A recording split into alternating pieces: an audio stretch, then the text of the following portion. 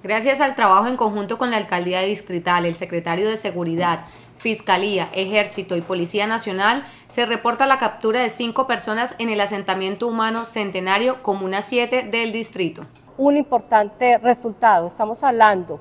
que a través de 10 allanamientos realizados el día de hoy, producto de la actividad investigativa, análisis de información y demás, logramos la captura de cinco personas, cinco armas de fuego,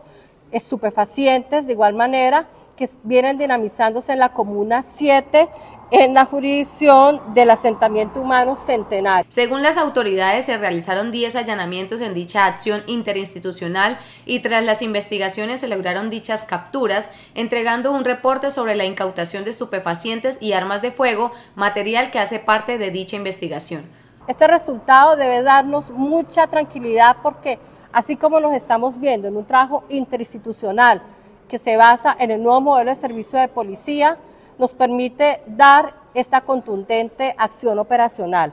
Yo quiero invitar a toda la ciudadanía al aporte de información, en, confíen en sus instituciones constantemente, que estamos trabajando interinstitucionalmente. Queremos que nuestra ciudad de, de Barranca Bermeja sea segura totalmente y basados también en el trinomio de la seguridad que lo compone la ciudadanía, las autoridades y la Policía Nacional, pues vamos a lograr este tipo de acciones operacionales supremamente importantes. Por su parte, las autoridades gubernamentales aseguran una disminución en riesgo a la comunidad representativa para niños, niñas y adolescentes, dados los últimos resultados obtenidos.